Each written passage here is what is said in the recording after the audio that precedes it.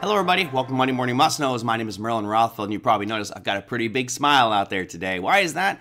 Well, it's because of last week's trading. Man, you had the Fed cut by 50 basis points, and as you know, I was thinking 25 all along. Been thinking that all year that the September meeting would be 25 basis points came out at 50 man is that a bad sign for the markets ahead or just juicing that economy going into the election? Either way the markets rejoiced. All-time highs for the s&p we saw great moves up in the nasdaq the russell. Just a great week for trading. Now will this week be the same? I cannot tell you but i do know that there are some announcements coming out. Really we have 79 companies reporting earnings to kick things off so that's how i'm going to begin right there. We have on Monday nothing. On Tuesday, you've got AutoZone, Cintas, and KB Homes. Wednesday brings you Micron Technologies, BlackBerry, and Paychex. And on Thursday, Costco, Accenture, CarMax, and Jabil Circuits. So, not a lot of huge names, but there might be a couple of those in your portfolio, particularly Costco, all eyes on the big box retailer.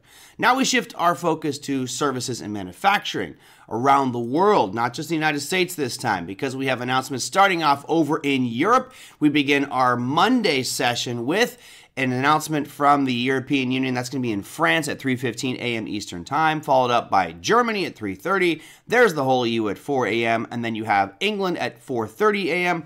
And finally, at 9:45 a.m. Eastern Time, we have the United States. Now, as Jerome Powell mentioned at the press conference on Wednesday, much more data dependent. And I think more data points are going to be absorbed to help them anticipate what their end of year target is going to be with regards to interest rates, policy, and much, much more. So this data here could be very important, particularly if you're trading the euro, the British pound, or the US dollar.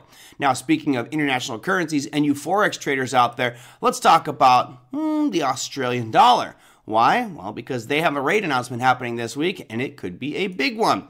As you can see here, right now it says 4.35. I'm hearing a lot of mixed expectations on rates this week, particularly because of what happened with the United States last week. I do anticipate them dropping 25 basis points down to 4.1.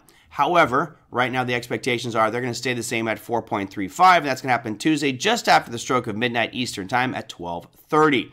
But wait, there's more. We have one more bank to talk about. Oh, that's right. The Swiss National Bank will be making an announcement as well. Right now they are at one and a quarter. Expectations are they're going to stay at one and a quarter. I believe that both of these countries will drop by 25 basis points. Swiss National Bank doing so on Thursday at 3:30 a.m. Eastern Time. One of the reasons this becomes so relevant is because both of them have already been cutting. The United States just did a drastic move with 50 basis points, and that may further escalate this race to zero that we might be on yet again, getting back to low rates, which could stimulate that economy even more, like we saw last week. All right, let's move on to some U.S. pieces. Of course, Jerome Powell cited GDP. That number will be coming out as well. So let's take a look at our GDP data. Thursday at 8:30 a.m. Eastern Time, we get that U.S. final GDP number. Right now, expectations are we're going to come out at three. Now, what you see here on your screen at the hard red edge says 1.4. Don't worry about that number. It's the annualized rate, which takes the last four bars and combines those, therefore giving us the total rate of GDP for the year. Now, Expectations are right now that there's going to be no change. We'll stay right around 3%, although the forecast Jerome Powell gave at the press conference does sound like they're expecting it to drop just a little bit. And again, inflation is on the table. This is the big one. The core PCE price index happening Friday at 8:30 a.m. Eastern Time. Expectations are we're going to stay right at that point two that you see over there on the hard right edge and stay right where we are at, which would be a good sign. Obviously, we would like to see that inflation number drop a little bit lower, but the CPI number right now, 2.5% year over year.